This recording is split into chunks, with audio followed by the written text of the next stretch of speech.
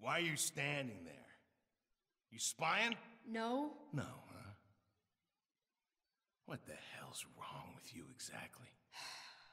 Nothing. You need to stop leaving your stupid stories around. They're freaking everyone out.